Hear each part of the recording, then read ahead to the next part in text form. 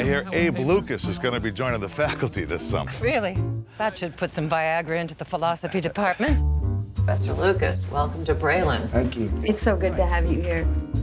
Your paper was quite good. Am I blushing right now? He's very radical, very original. You either love him or hate him, really. When I heard you were coming here, I had fantasies that we'd meet. Something special would happen. I haven't been able to perform in nearly a year. I can't write. I can't breathe. I couldn't remember the reason for living. And when I did, it wasn't convincing. Word around is your philosophy professor's got a bit of an alcohol problem. Oh boy, that's just one of his problems. I just hope you're not starting to care for him too much in the wrong way. You suffer from despair. How comforting that would be. Are you aware of what's going on in this too? It was at this moment that my life came together. There was no question there was something lighter about Abe. Good morning.